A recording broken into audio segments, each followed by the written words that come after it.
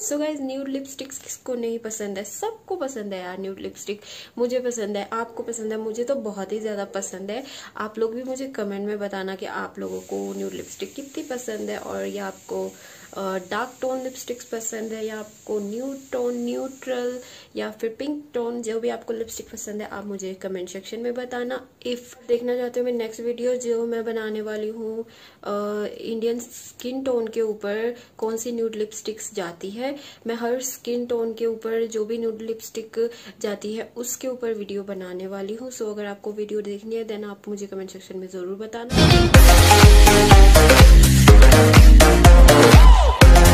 Hey guys welcome back to my channel and welcome back to another video so आज की video में मैं आप लोगों के साथ शेयर करूँगी मेरी मोस्ट फेवरेट न्यूड लिपस्टिक्स और या जो मैंने लास्ट टाइम वाले मेकअप वीडियो में एक न्यूड लिपस्टिक लगाई थी जिसको बहुत सारे लोगों ने पसंद किया था सो so वो भी आपको इस वीडियो में देखने को मिलेगा. सो या without further ado let's get into the video और हाँ हाँ हाँ इस वीडियो को लास्ट तक देखना। पसंद आएगी तो लाइक शेयर एंड सब्सक्राइब भी ज़रूर कर देना और कमेंट सेक्शन में बताना कि आपको मेरा ये वीडियो कैसा लगा।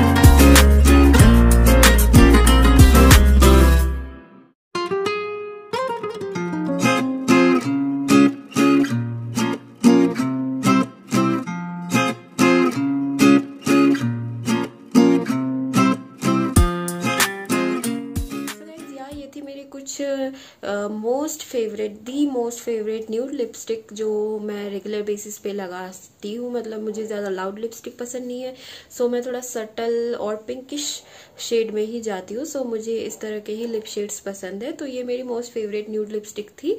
आपको मार्केट में और भी सारे न्यूड लिपस्टिक्स मिल जाएँगे अगर आपको ये वाली पसंद आई होगी तो आप लिंक डिस्क्रिप्शन में चेक कर सकते हो। जितने भी लिपस्टिक के मैं लिंक दे पाऊँगी मैं आपको नीचे डिस्क्रिप्शन में दे दूँगी सो आप वहाँ से बाय कर सकते हो। सो so, या अगर आपको ये वीडियो पसंद आई होगी तो प्लीज़ लाइक शेयर सब्सक्राइब कर देना और कमेंट सेक्शन में भी बता देना आपको कैसा लगा।